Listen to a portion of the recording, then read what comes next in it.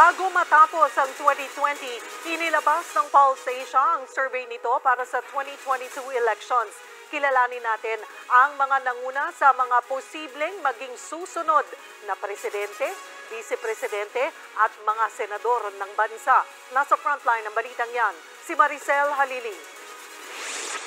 Sa 2,400 na respondents mula November 23 hanggang December 2, tinanong sila ng Pulse Asia Research kung ngayon nagaganapin ang botohan, sino sa mga nasa listahan ang kanilang iboboto para maging susunod na Pangulo ng Pilipinas. Pwede rin silang magbigay ng pangalan na wala sa listahan. Ang resulta, nanguna sa listahan si Davao City Mayor Sara Duterte.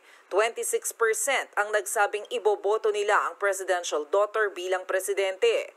Sumusunod naman sa kanya sa halos magkakadikit na pwesto sina dating Senador Bongbong Marcos, Senator Grace Poe, Manila Mayor Isko Moreno at Senador Manny Pacquiao.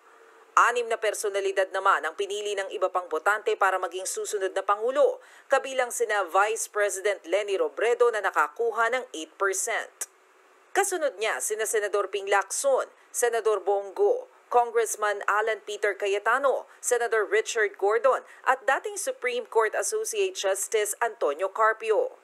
Para naman sa pagka-vice-presidente, statistically tied sa unang pwesto sina Manila Mayor Isko Moreno, Mayor Sara Duterte at si Senate President Tito Soto.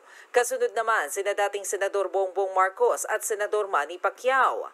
May mga pumili rin kina Senador Bongo, Sorsogon Governor Cheese Escudero at Congressman Alan Peter Cayetano. Nakasama rin sa listahan sa pagka-vice-presidente sina Senador Sonny Angara, DPWH Secretary Mark Villar at Attorney Shell Jokno. Para naman sa mga posibleng maging senador, solo sa unang pwesto si incumbent Senator Manny Pacquiao. Nasa second at third place naman si Rafi Tulfo na sinusundan ni Mayor Sara Duterte.